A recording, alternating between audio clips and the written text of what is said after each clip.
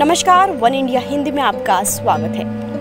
केरल में जानवरों के साथ दुर्व्यवहार का एक बेहद शर्मनाक मामला सामने आया है। इस घटना को सुनकर आपकी रूह काँप जाएगी कि कोई इंसान आखिर कैसे इस हद तक वहशीपन कर सकता है।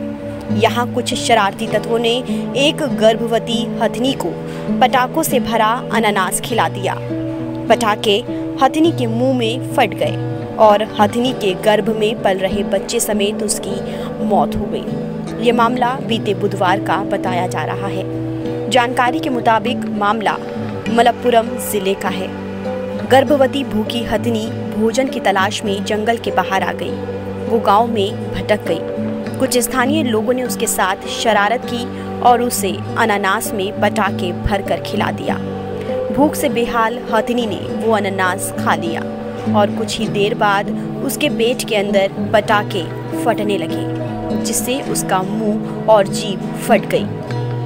बता दें कि इस पटाखे से भरे अनानास को खाने के बाद हथनी वेलियार नदी तक गई और वहीं पर खड़ी रही।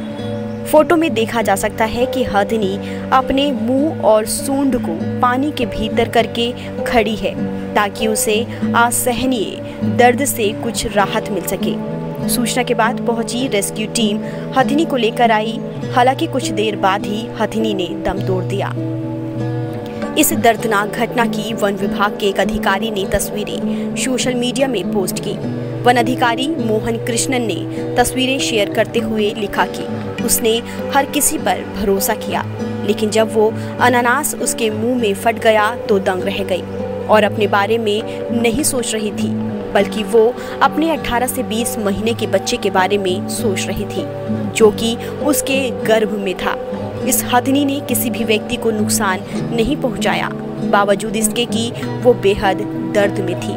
उसने किसी का घर नहीं तोड़ा, इसलिए मैं कहता हूँ कि वो देवीय हथनी थी।